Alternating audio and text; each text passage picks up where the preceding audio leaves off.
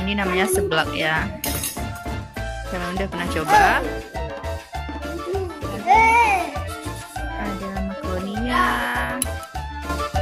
ada sayur